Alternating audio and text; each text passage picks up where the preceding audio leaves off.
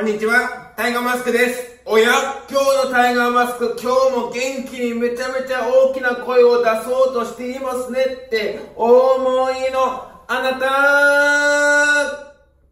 正解ございます。正解です。正解でした。はい、こんにちは、タイガーマスクです。はい、今日はですね、何についてお話したいかと言いますと、ワクワクすることについて話したいと思います。ワクワクすれば本当にいいことばっかり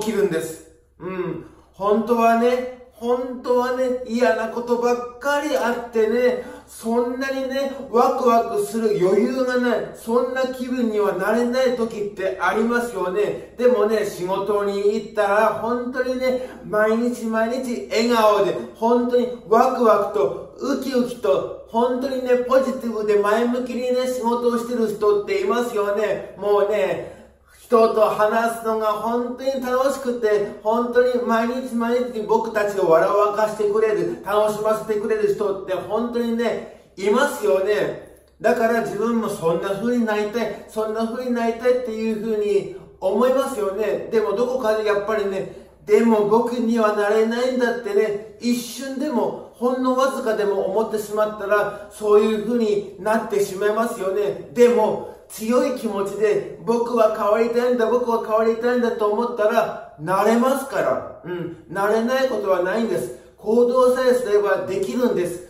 うん。本当にそうなんです。でね、本当にね、僕もね、本当にね、野球選手になってみたいとかね、サッカー選手になってみたいとかってね、バスケット選手とかいろいろ皆さんも思ったことあると思いますけども、サッカー選手になりたい人は、サッカー選手の誰々選手とか何々選手とか見て、僕もこんなプレーをしてみたい、こんなシュートをしてみたいとかって思って、ああなりたい、こうなりたい、こんな風になってみたいなっていうのを胸に抱いて、目標を持って頑張りますよね。だから、ああいう風になりたいっていうことを考えて、そのために頑張っていく、そのために頑張っていくって感じで、今いると思うんだけども、だから、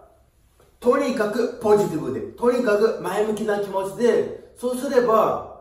本当にね、ワクワクばっかり起きるんですよね。楽しいことばっかり起きるんですね。仕事がうまくいかない。だから俺はうまくいかないんだ、ダメなんだって思わなくてもいいんです。仕事がうまくいかなくても、次また成功する。今度こそうまくいく。何があってもポジティブで、何があっても自分をね、褒めてあげる。プラス思考でいく。そうすれば絶対に素晴らしいことがいっぱい起きるんです。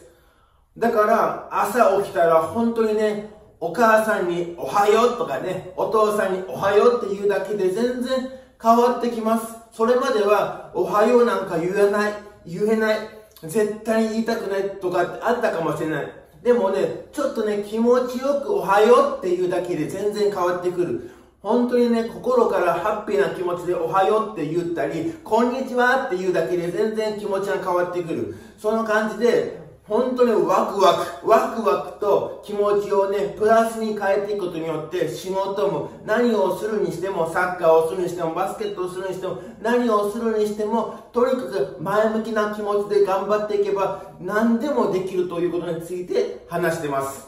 本当にね、楽しいことばっかり考えていけばいいんです。もうここうなればこうなのかな、こうなればこうなのかな、本当にワクワクワクワクするな、もう本当にね、この動画をね、もっともっと撮り続けていけば、ものすごく楽しいことが起きるかもしれないとかってね、これは僕的なことなんですけども、とにかくマイナスのことばっかり考えていてもダメなんです。悪いことばっかり考えていては、全然楽しくも一つもないです。でもね、楽しいことばっかり考えていたら、人生って本当にハッピーに楽しく面白く嬉しくなりますよね。だからそれをずっとずっと意識していく。